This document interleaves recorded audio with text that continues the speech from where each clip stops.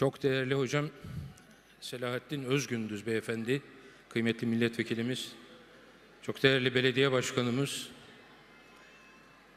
kıymetli meclis üyelerimiz, Zehra Ana Derneği'nin değerli yöneticileri, yönetim kurulu üyeleri, kıymetli misafirler, ilçe başkanımız, siyasi partilerimizin değerli mensupları, yurt dışından, farklı ülkelerden ilçemize teşrif eden değerli misafirlerimiz, kıymetli küçük çekmeceli hanımefendi, beyefendi kardeşlerim, küçük yavrularımız hepinizi saygıyla, muhabbetle selamlıyorum efendim. Hoş geldiniz.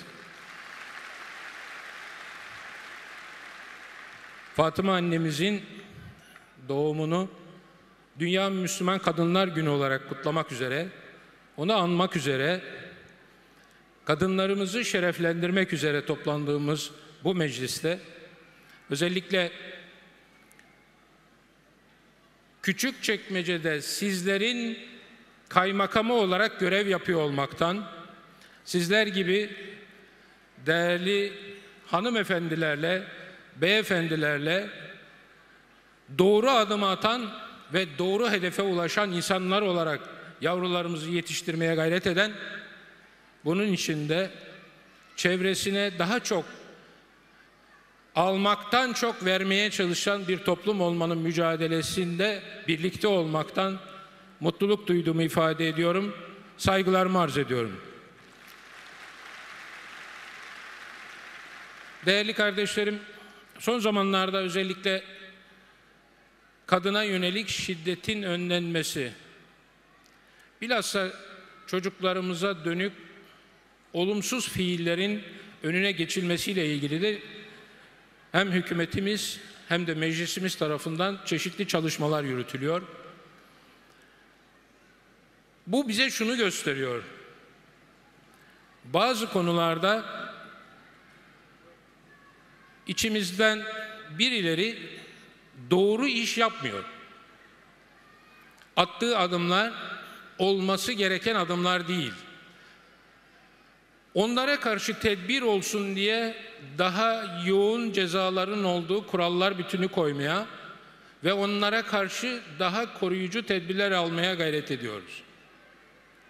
Ama soruyorum sizlere, eğer tüm kadınlarımız Fatıma annemizin yerine konsalardı, tüm kadınlarımız kendi annelerimiz, bacılarımız, kardeşlerimiz yerine konsaydı, bu ahlak penceresinden baktığınız zaman acaba bu kadar yoğun tedbir almaya gerek kalır mıydı?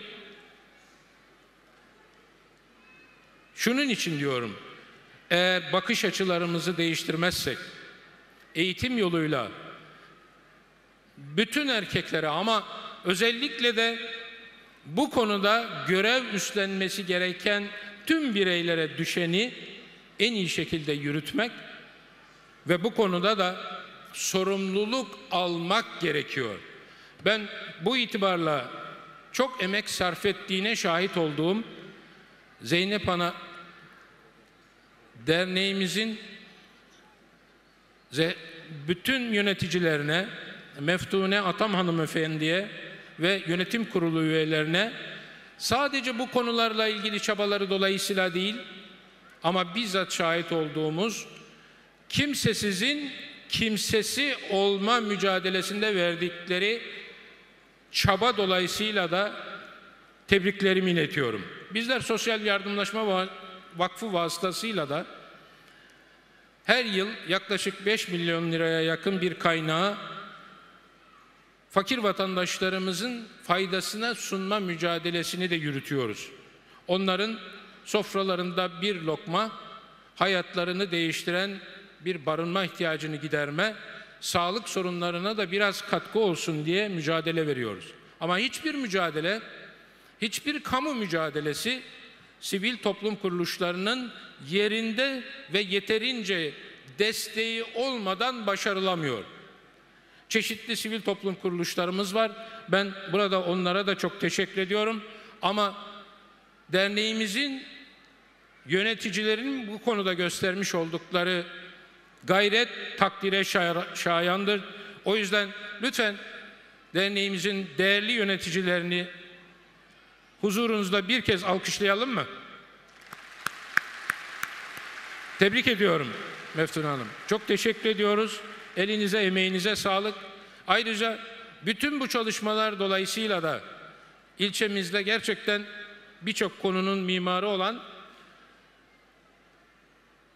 güzel kalpli, yü- yüreği hep garibanın yanında atan değerli belediye başkanımıza da ben çok teşekkür etmek istiyorum. Her konuda hem derneğimize hem de bize verdikleri destek için Sözlerimi bir sitemle bitireceğim. Bir yerlerde boşluk bırakırsanız o boşlukları Meftune Atam hanımefendi kadınlar olarak eksiklikleri gidermeye çok çabalıyoruz diyor. Bence şu salon fazlasını yaptıklarını da gösteriyor. Erkeklerimizin boşluk bıraktığı yerleri de bakın hanımefendiler doldurmuşlar. Beyefendiler biraz daha gayret. Bakın olmuyor. Hepinizi yürekten, gönülden selamlıyorum. Ehli beyt sevgisi olmayanın dini de tam değildir diyorum. Hepinizi yeniden bu doğum günü vesilesiyle tebrik ediyor, saygılarımı arz ediyorum.